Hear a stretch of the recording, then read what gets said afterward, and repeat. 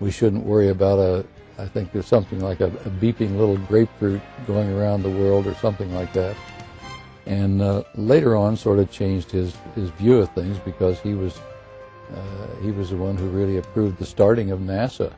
A little less than a year after Sputnik, on October 1st, 1958, the National Aeronautics and Space Administration, NASA, was established.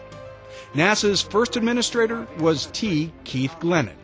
You can be justly proud of the fact that your past achievements have made NACA the choice of all governmental agencies out of which to build the new agency.